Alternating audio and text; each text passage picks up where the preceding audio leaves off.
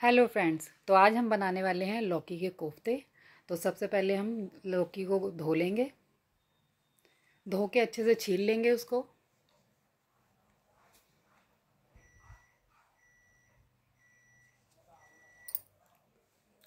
अब छीलने के बाद इसको हम अच्छे से कसेंगे कद्दूकस करेंगे।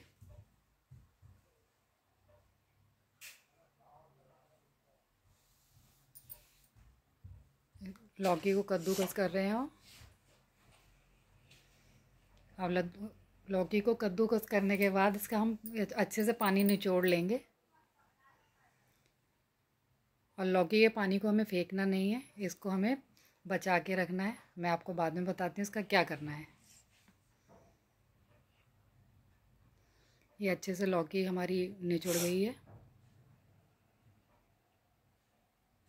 अब इसमें कटी हुई प्याज डालेंगे, अदरक डालेंगे, कटी हुई हरी मिर्चें डालेंगे, स्वाद अनुसार नमक डालेंगे,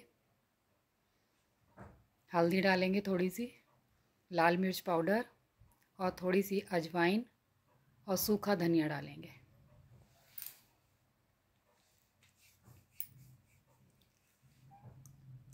इसमें बेसन डालेंगे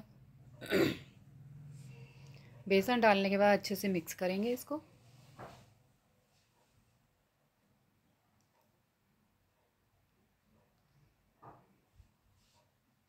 मिक्स करने के बाद हमने कढ़ाई रख दी है। अब कढ़ाई का तेल जब गर्म हो जाएगा तो हम इनको तलेंगे। इनके छोटे छोटे गोले बना के इनको तलेंगे।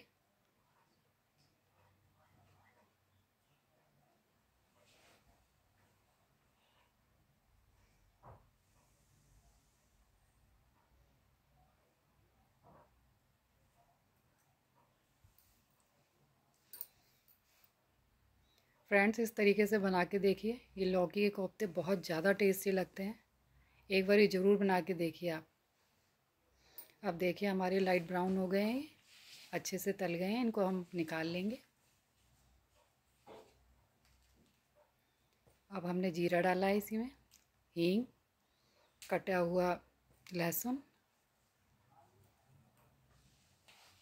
अब इसमें प्याज डालेंगे हम। इसमें हमने ग्राइंड ग्राइंड की हुई प्याज डाली है पीसी हुई प्याज डाली है हमने।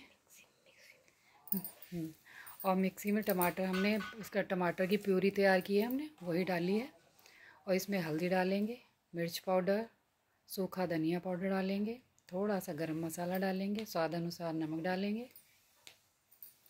अच्छे से मिक्स करेंगे।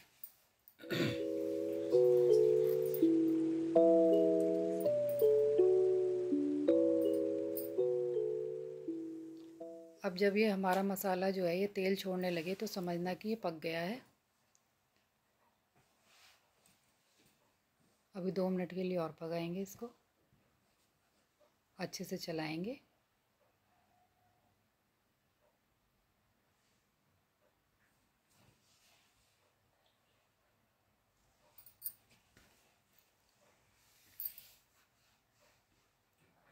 अब हमारा मसाला पक गया। हमने जो लौकी का पानी बचाया था, वो हम इस जगह पे डालेंगे अब। वो पानी हमें इसी सब्ज़ी में डालना है। और अच्छे से चलाएँगे। अब एक उबाला आने के बाद इसमें हम कोफ्ते हमने जो बनाए हैं, लौकी के बोल्स उसे डालेंगे। और देखिए, थोड़ा पकने के बाद इसको इसमें हम कसूरी मेथी डालेंगे।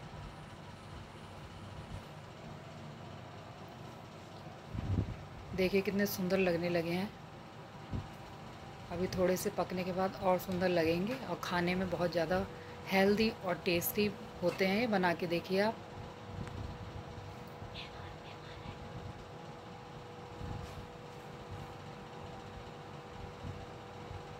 अब हमारे कोफ्ते बन के तैयार हो गए हैं।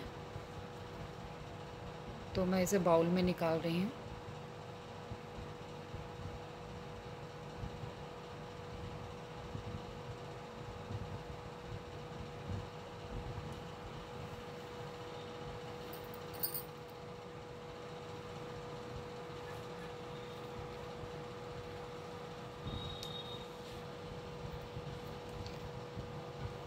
कोफ्ते में हम ये थोड़ी सी क्रीम डालेंगे।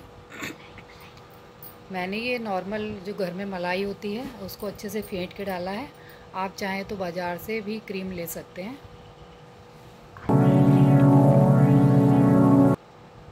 देखिए, कितने सॉफ्ट और खूबसूरत कोफ्ते बनके तैयार हुए हैं। Thank you for watching my video bye bye